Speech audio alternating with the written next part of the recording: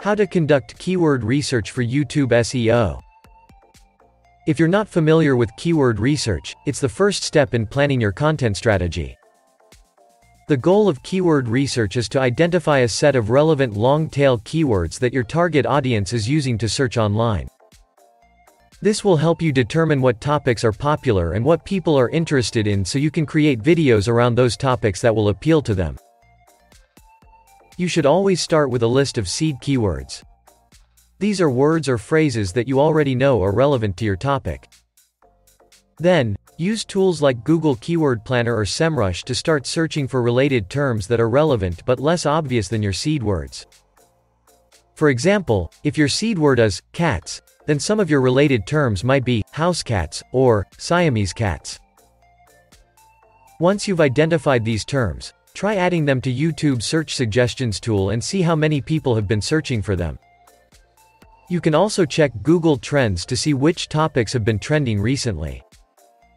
This can help give you ideas for future videos. Keyword research is an essential part of any SEO strategy. It helps you figure out what people are looking for, and how to make sure your website is the first one that pops up when they search for it.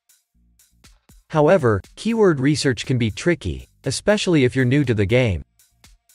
There are lots of different tools out there that claim to offer keyword research, but only a few of them really deliver on the promise.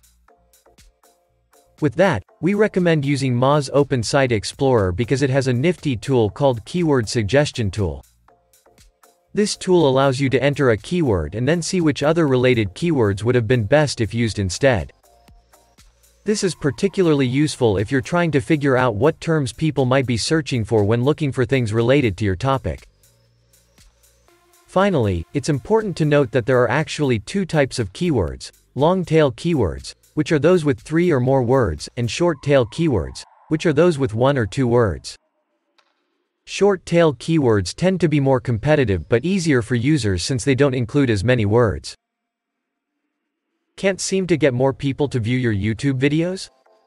Visit linkdaddy.shop now and try our YouTube ranking service to start getting more viewers and subscribers for your YouTube channel today.